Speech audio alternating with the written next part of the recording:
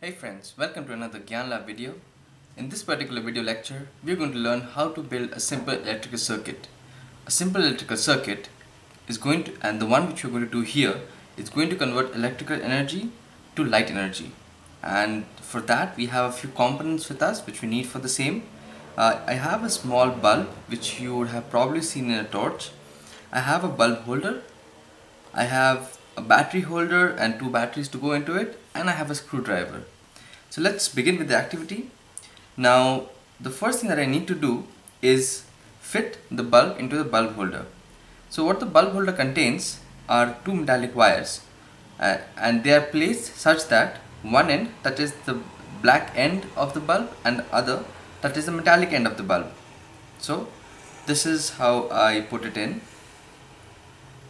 so that it's tight once I have done that I'm going to take the wire and firstly I loosen up the two uh, the screws which are uh, holding the metallic ends of the bulb holder.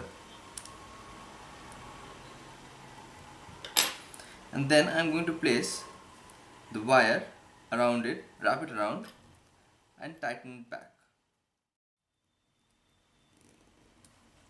so this end is tightened and I'm going to do the same thing with the other end as well.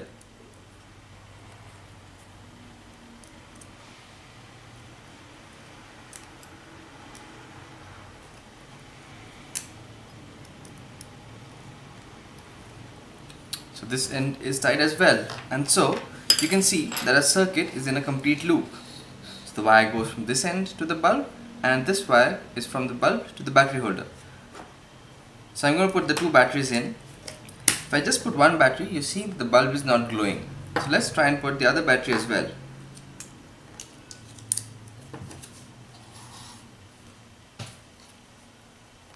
And viola, the bulb is glowing. So this is how it works. The energy, the electrical energy, uh, the current which is stored in the battery is actually traveling to the bulb and back to the battery. Hence, when I completed my circuit, the bulb started glowing. If I remove any of the one of the batteries, it does not work. Similarly, what you can try is remove the wires and see if the bulb glows and it won't. So it is important to note that once our circuit is complete, then and only then will the bulb glow. Thank you.